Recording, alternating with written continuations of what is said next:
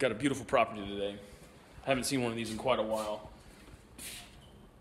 This water heater is completely inoperative. There's a sign that says so, but went ahead and did a little digging on it. This flue is not attached. That's dangerous because carbon monoxide can come out. It, it terminates into the attic space there. We've got some dissimilar metals. It's going to cause some corrosion. There's no TPR valve.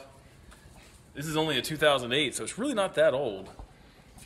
But big thing is it's obvious that this TNP is, valve has been uh, leaking for quite a while. We've got some beautiful mold back here.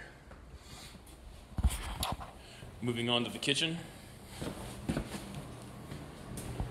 Oh, we're missing quite a few light fixtures. We've got some beautiful mold buildup on this register. The dishwasher works, it had some rust in it. This oven's missing. This was my favorite one. When I opened this,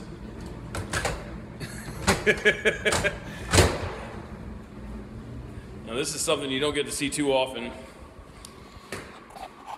On my initial walkthrough, I found some nice water stains up here on the ceiling. We got some mold-like substance building up right there. So then when I went up to the roof, turns out this roof is flat. And on this flat roof, they put shingles that are designed to have a pitch. If you don't have a pitch, it's going to catch water. And this water's not pooling up anymore. It's leaking straight through into this sunroom here. And then out back, there's a DIY shanty. I'm kind of scared of that one.